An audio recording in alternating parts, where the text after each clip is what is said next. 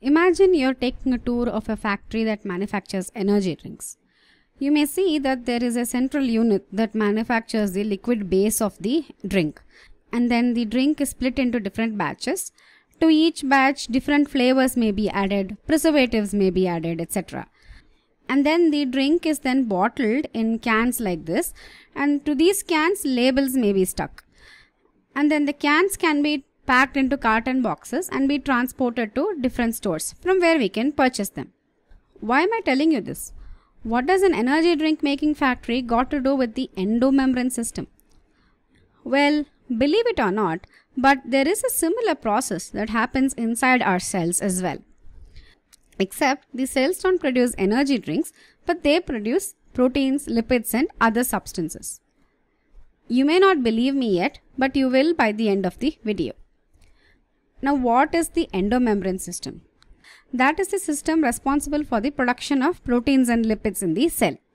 And it is made up of a series of interconnected cell organelles. And we know that eukaryotic cells have different cell organelles that perform different functions, right? The endomembrane system includes those organelles that are somehow connected and perform a coordinated function.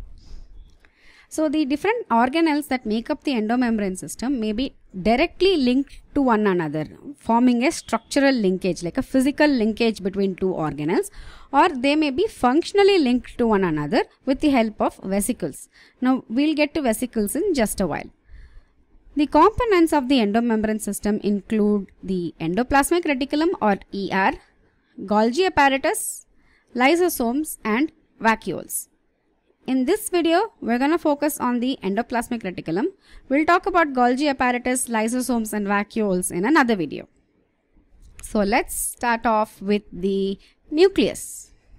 Wait, the nucleus? Weren't we supposed to start with the endoplasmic reticulum? Why am I talking about the nucleus?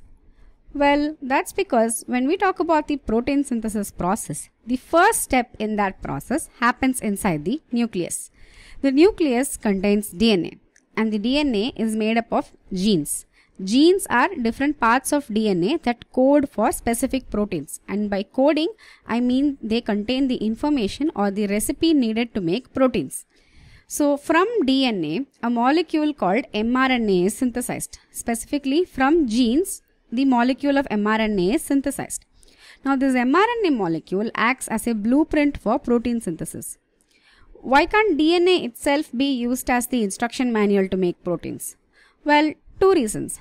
DNA cannot leave the nucleus and enter the cytoplasm where the actual protein synthesis takes place.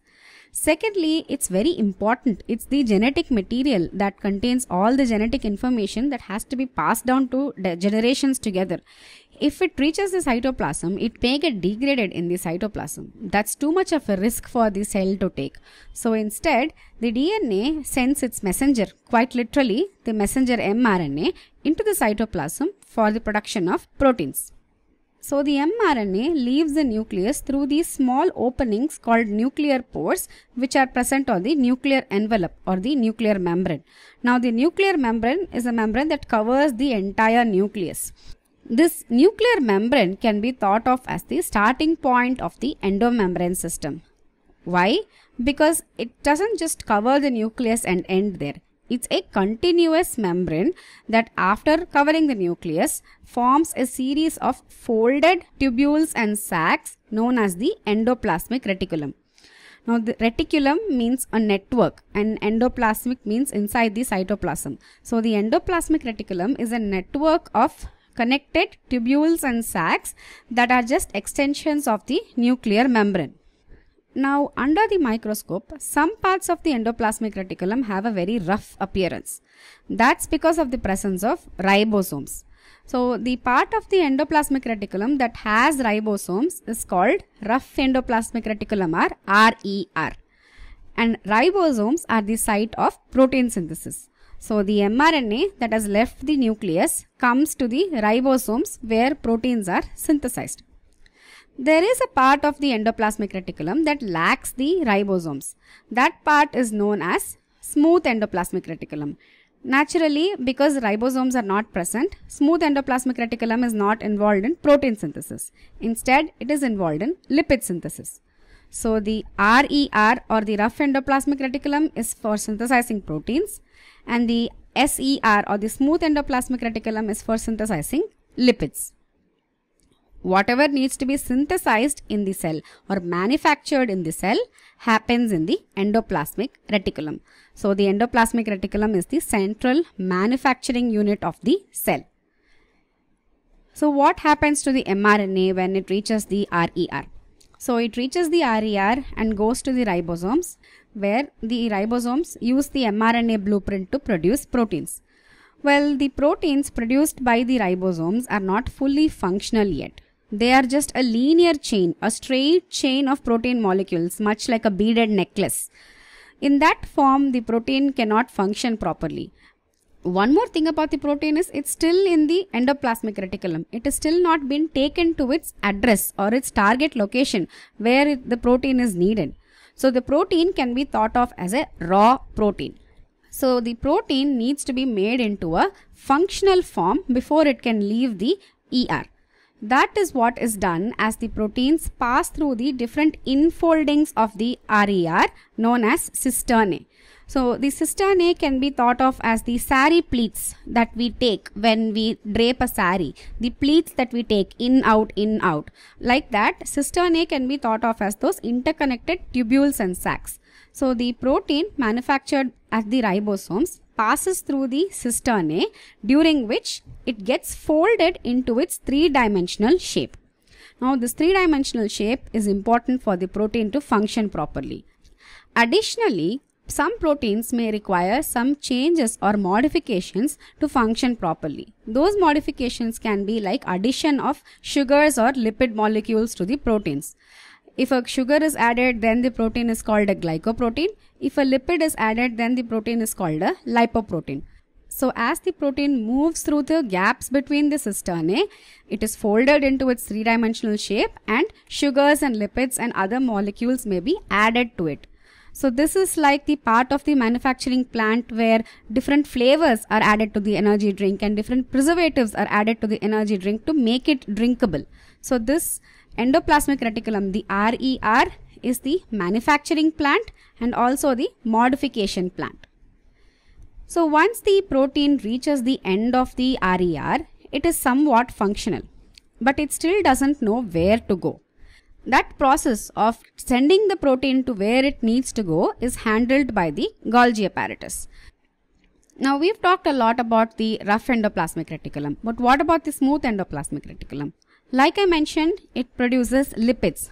Lipids, for example, like waxes and steroids in your body are produced at the smooth endoplasmic reticulum.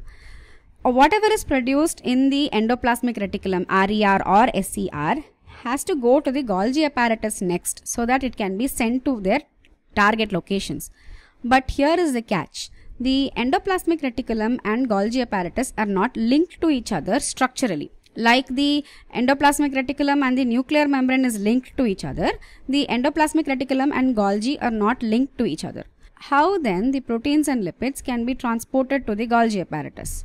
Well, here is where vesicles come into the picture after the protein is modified and is at the end of the endoplasmic reticulum, it is packed inside vesicles. Vesicles are nothing but tiny sacs of the membrane itself that makes up the endoplasmic reticulum. And by membrane, I mean the phospholipid bilayer that makes up the endoplasmic reticulum that pinches off or buds off and contains the protein inside. Now these small sacs called vesicles then move to the Golgi apparatus where more modifications are done and the proteins can be sent to their target locations.